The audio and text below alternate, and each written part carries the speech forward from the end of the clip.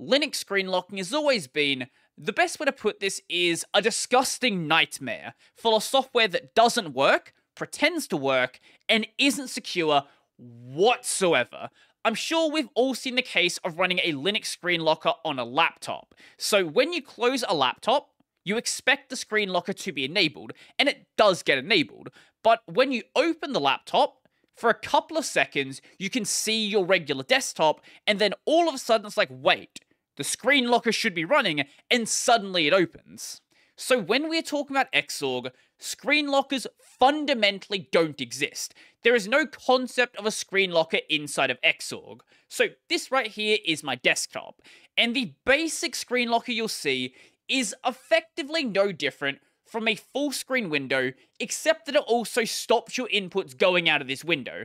But if this window doesn't open in time, or this window closes, well, there's nothing you can really do. Then someone can just see your desktop and do literally anything they want. So the way you generally get around this, firstly, is you make sure the screen locker is being opened before the system goes to sleep. This can be done with things like systemd and various other tooling, so that when the system goes out of sleep, the window is already open also have some form of management daemon, whether this is a systemd job or just some other application running on your system so that if the screen locker crashes, it can reopen the screen locker before the attacker can do anything potentially of damage. And to their credit, desktop environments like GNOME and KDE do a good enough job to make sure screen lockers function like they should. And I know we all like to meme on Windows and macOS, but Windows objectively does a better job with its screen locking. So if the screen locker crashes, it's probably going to blue screen the system, which might sound really bad. Why would you want your system to crash if the screen locker goes down? Well, it's much better for the system to crash than someone to have unauthorized access but Wayland and wlroots offer a better path forward. Now, GNOME and KDE Wayland both do their own slightly different separate things, but those aren't what we're going to be addressing today. So in the wlroots context, there are two separate solutions. The first one being combining the two protocols, WLR input inhibitor and WLR layer shell, and the second solution being EXT session lock. So the more traditional Wayland and WL root solution is layer shell plus input inhibitor. So what input inhibitor does is, as the name might suggest, it inhibits your inputs. At a compositor level, at a display server level, it limits where your key presses are allowed to be sent. And in the context of a screen locker, you don't want any keys being sent anywhere except for the screen locker. You do not want to let the user swap desktops or force close the application or anything else they might want to do that could bypass the screen locker. Now, as for layer shell, we've talked about this in various other videos. This is commonly used for doing things like drawing panels, notifications, wallpapers, status bar, and other things like that that you want to draw on the screen, but you don't want to have treated like a regular window. You want to draw something outside of the compositor. One of the main reasons you do this is to avoid window decorations. So you don't want your screen locker to have things like a close button or a minimize button, or you don't want to be able to go and resize it or move it around so it's not covering the entire screen. Those are definitely not wanted on a screen locker. You also want to make sure your screen locker is blocking out all of the screens. So in my case, I'm running three separate monitors. I've got my main horizontal monitor, the one I'm actually capturing right now. I've also got two vertical monitors used for things like chat and other things like that. These all need to be blocked out. I shouldn't be able to go and like see my desktop on one of them. I might have something sensitive on that screen. This is pretty much as good as the Simple X solution, so it still has fundamental flaws. So what happens if the screen locker crashes? Well, you see the desktop. What happens with the sleep race condition? Well, it doesn't address this either.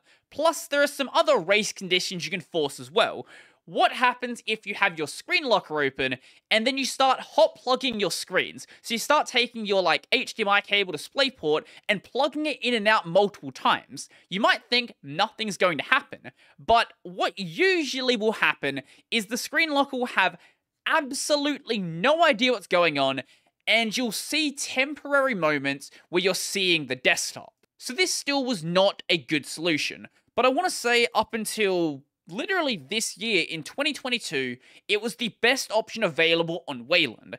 And this is where the new protocol comes in EXT Session Lock. While the previous solution was basically hacking two separate protocols together, this new protocol is made entirely around screen locking. So, up until now, the concept of locking a screen was done inside of the application itself. You know the screen is locked because you have a screen locker visible on the screen. But if that screen locker goes away, then the screen is no longer locked. Instead, with this protocol, it moves the locking function out of the app into the compositor. So now the screen locker is basically just a GUI for interacting with the compositor. And if the screen locker crashes, because the screen locking is being done in the compositor, the screen stays locked. And both of the race conditions can be very easily dealt with. Firstly, just make sure the screen locker is being enabled before the computer goes to sleep, and for when it comes to unplugging and plugging in monitors, because this is being done at the compositor level, the compositor isn't just going to suddenly change what it's rendering. If it's in the lock state, it's going to stay in the lock state until you get rid of the locking. However, a screen locking protocol like this does have some dangers. So I can imagine a situation where every time you open up Sway, River, things like that, you have ransomware on your system, it instantly locks your screen, and it's like, hey, pay me Bitcoin or we'll, I don't know, put your nudes out on the internet or something like that. That's actually entirely possible. So for the developers of these compositors, they are going to be given the option to whitelist certain compositors if they want to go and do so. They have the option to whitelist certain screen lockers if that's something they want to go and do.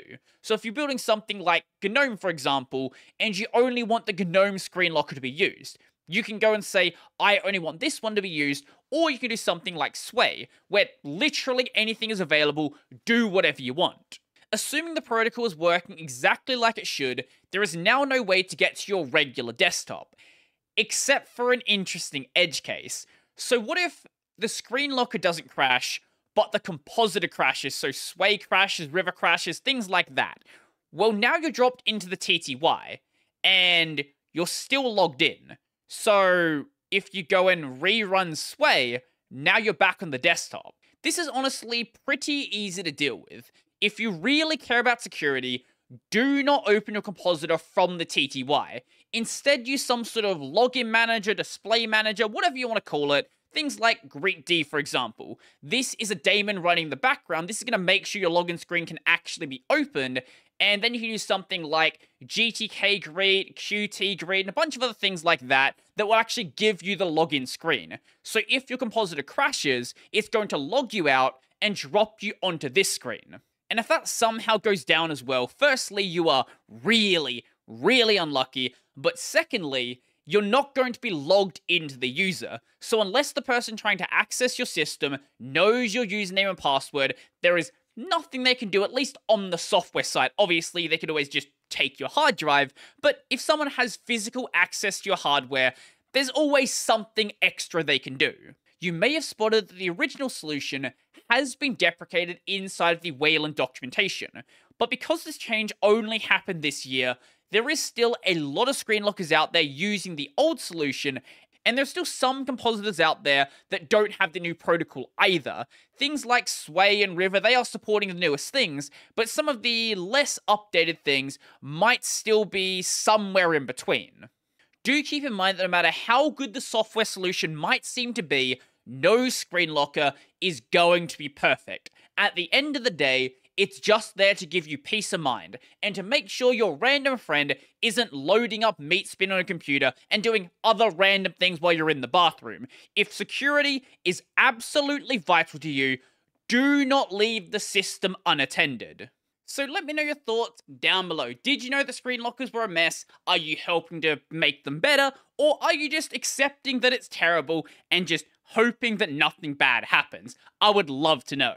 So if you like this video, I'm going to go like the video. If you really like the video and want to become one of these amazing people over here, go check out my Patreon, subscribe, starting with Pay, linked in the description down below. I've got a podcast called Tech Over Tea. I was about to screw up my outro.